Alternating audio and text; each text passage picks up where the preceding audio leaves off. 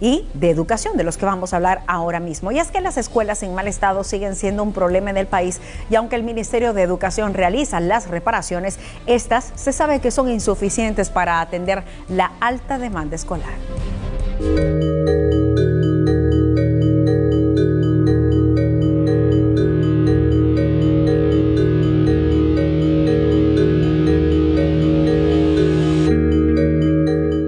Para la segunda quincena de febrero está previsto que inicie el ciclo escolar 2023 en el sector público.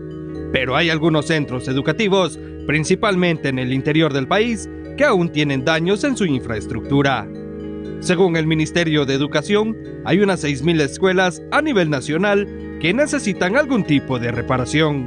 Tenemos un promedio como de unos 1.600 eh, pendientes, que son los que eh, vamos a a, ver cómo los podemos eh, seguir atendiendo.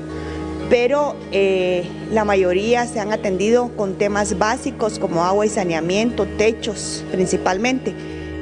Pero los más afectados son los estudiantes del departamento de San Marcos, porque en 2012 hubo un terremoto que dañó las instalaciones y a una década de ese fenómeno natural aún no han sido reparadas en su totalidad, pese a que el proyecto está a cargo de la unidad de construcción de edificios del Estado. Como eh, encontramos eh, todavía un remanente de los que habían sido afectados por el terremoto en San Marcos, entonces de esos también hemos ido avanzando.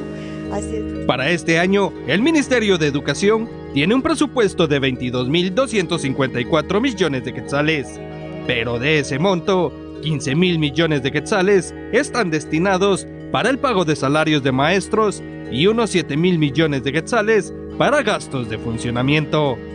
Alejandro Castillo, Fuerza Informativa Azteca.